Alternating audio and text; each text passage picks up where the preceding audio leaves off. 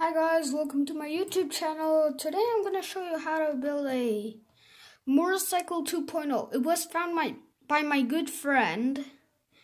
I don't know the name of it, but it's from my good friend. Okay, let's go through to the tutorial. You just need one rod.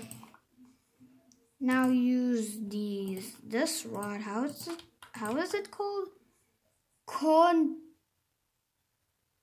you might know this if you go pl plus right here. It will say concrete rod. You picked a good rod. Now put one rod like this.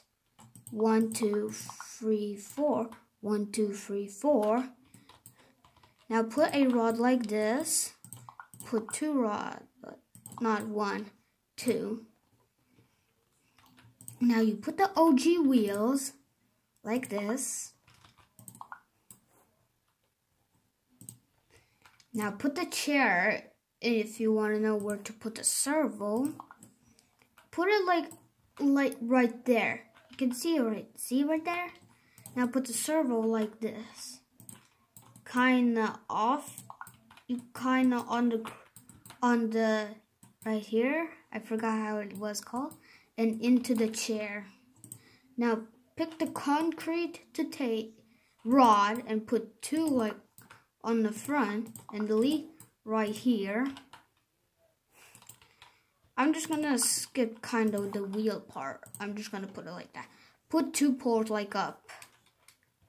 Right there. On the back. That.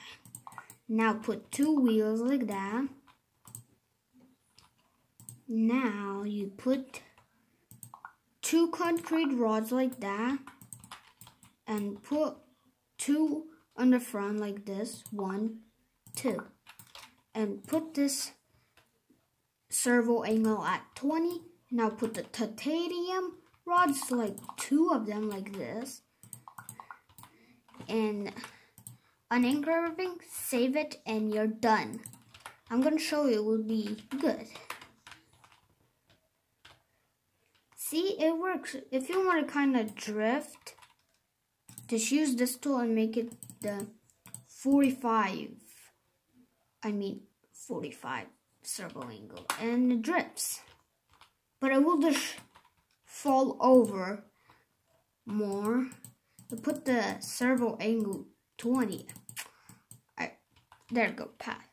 And there you're done. I'm gonna show you what was my old motorcycle tutorial. Yeah this one but this one runs better, like this. It's so much better than that one. I'm gonna show you. It turned better, but this one just balance better. Bye guys.